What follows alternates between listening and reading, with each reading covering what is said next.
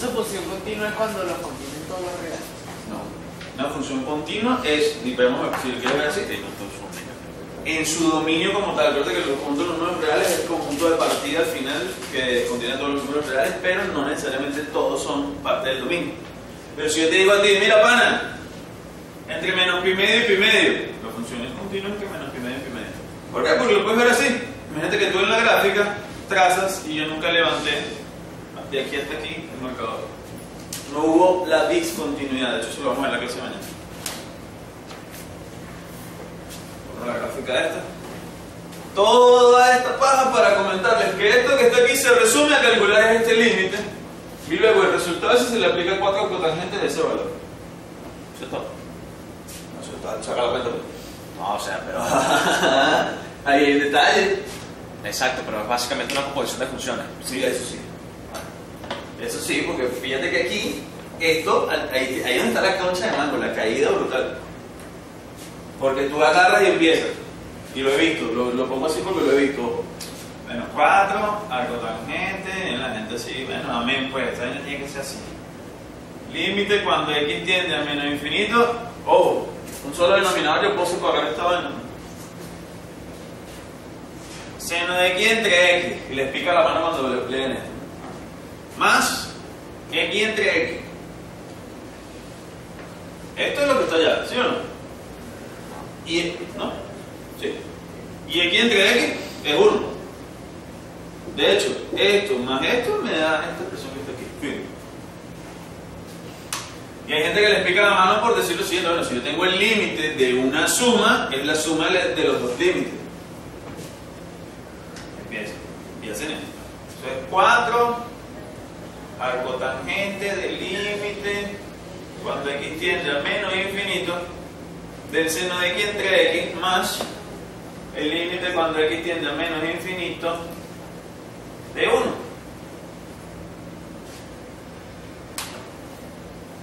Este es 1, un número, ¿sí o no? Y empiezan, ah, que tener límite notable. ¡Sam! Ponen uno aquí, 1 más 1, 2 y dejan 4 cotangente de 2 y, Ya, y pasa. Porque no es un límite notable porque esto es cuando tiende a cero. Aquí me están diciendo cuando tiende a infinito. Y ya ese es otro peo. ¿De acuerdo? Entonces, hasta ahorita nos vamos a quedar con esto. 4 arco tangente del límite cuando x tiende a menos infinito del seno de x sobre x más 1. Y allí es donde vamos a usar lo de la función acotada para hacer el teorema de Sandwich. ¿De acuerdo? Ya nada de cómo y por qué.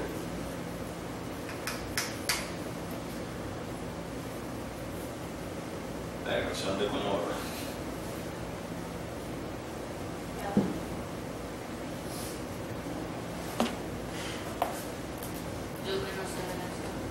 Esto, voy a borrar esta línea completa y esto lo voy a poner aquí para. Pero si lo tienes ahí. Por la abajo y la. Ah, ya lo tengo aquí, para mí, ¿cierto? ¡Ojo! ¡Ya va! ¡Ey! Présteme atención, por favor.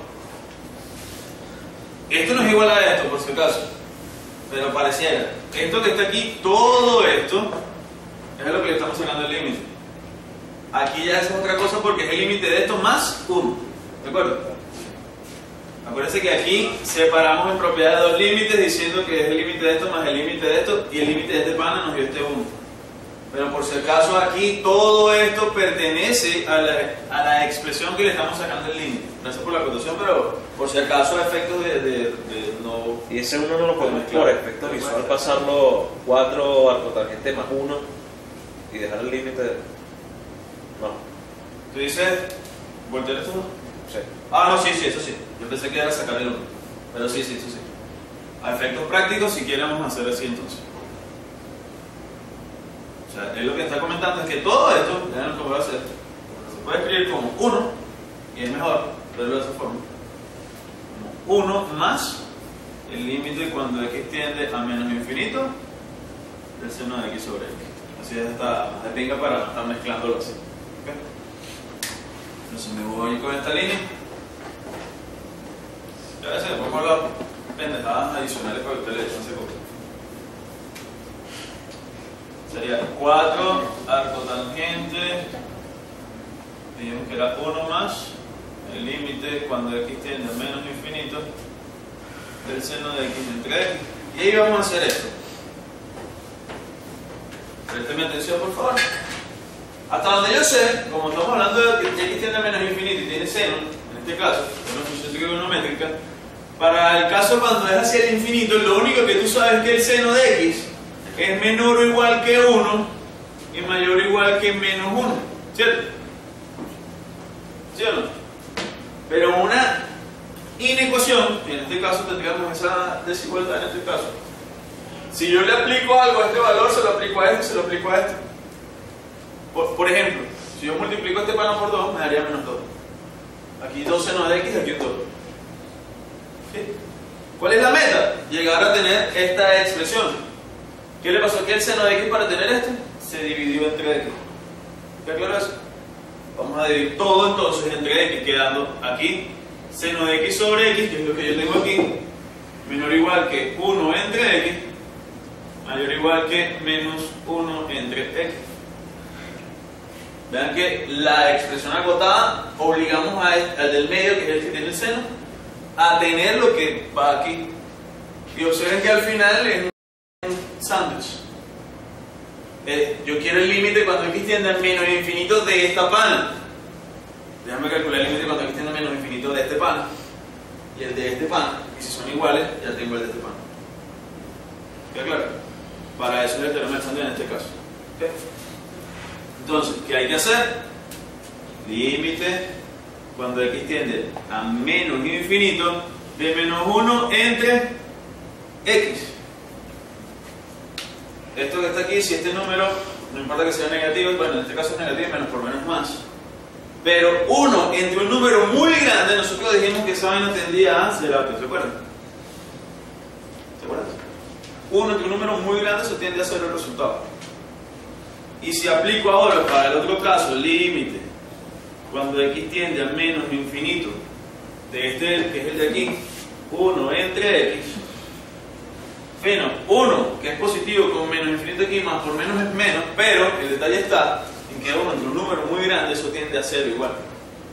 ¿De acuerdo? Y detalle en que al final, esto que está aquí sería, escribirlo de esta forma. Límite, aplicamos límite a este pana, límite a este pana, y límite a este pana,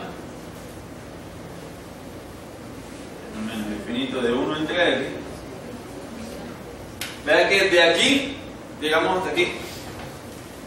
Este vimos que es 0. Este vimos que es 0. Por lo tanto, es 0. Ese límite es 0. ¿Está claro? Si el de la izquierda es igual al de la derecha, el del medio es el mismo. Conclusión, este pana que está aquí es un bello y hermoso 0. ¿Está claro eso? Sí, seguro. Yo voy a explicar por qué pusiste aquí menos unido. Aquí. Ajá. Eso fue hace rato cuando hablamos de que el seno es una función acotada. Que el valor más pequeño del seno de x es mayor o igual siempre que menos 1, es decir, es menos 1 por arriba. Acuérdate que ya hace esto. Y el valor mayor, el más grande, siempre va a ser 1.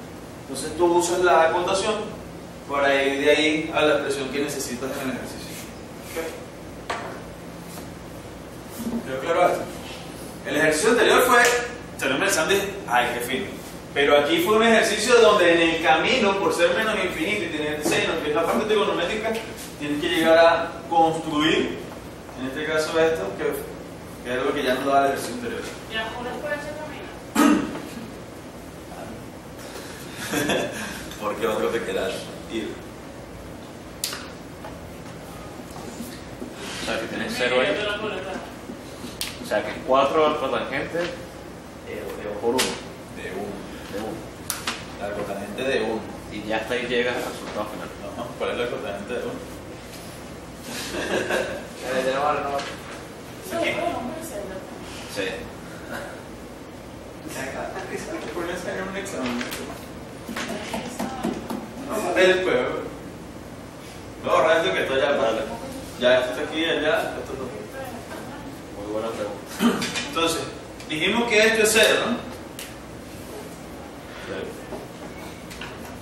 Y dijimos que si esto es 0, 1 más 0, me da aquí dentro del paréntesis 1 y miren esto, 4 arco tangente de 1. A mí, a mí, ojo, a mí, me lo dejan así, si yo estuviese explicando un examen, yo digo, ah, está bien, yo estoy evaluando es un tema de límite, ojo. Lo que yo estoy evaluando es que la gente sepa calcular un límite porque al final esto es un número. Van barriendo con farito. Eso va a salir un video, chamo. Ahí va a poner. Por favor. Son buenos profesores. Vamos a hacer. Continúo. Aquí, 4 el cotangente de 1. El detalle está en que tú puedes saber sin ver qué coño es la, la cotangente de 1. Nosotros hablamos de función inversa, pana. Haga la risa, tú agarras y dices esto, coño. Déjame ver. Ahí lo que están preguntando, arcotangente es función inversa. Es, mira, pana, hay un ángulo, no sé cuál es, que tú le sacas la tangente y la vaina te dio 1. Obviamente en radianes, por si acaso, que no se trabajamos con grados. En otras palabras, si lo quiere ver tipo función, hacemos la cajita donde aquí ponemos la tangente del valor x. Entró un numerito aquí cuyo resultado aquí al final fue 1. ¿Qué hace la función inversa? La función inversa que ya sabemos que es la arcotangente. Cuando entra 1, que es el valor que estoy buscando, me tiene que dar como resultado este pana.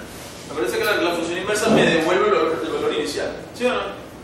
Bueno, yo quiero la arcotangente de 1, en otras palabras ¿Cuál fue el ángulo que yo le saqué la tangente cuyo resultado fue 1?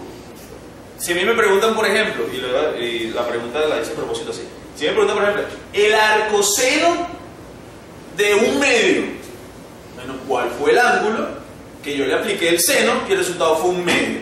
30 grados. Que en radianes sería pi sextos. Porque seno de 30 grados es un medio, por lo tanto, el arcoseno de un medio es el ángulo, que sería pi sextos o 30 grados. Me estoy devolviendo. Es para función inversa. Solo que la gente ve y lee. Ya hay un tic nervioso ahí.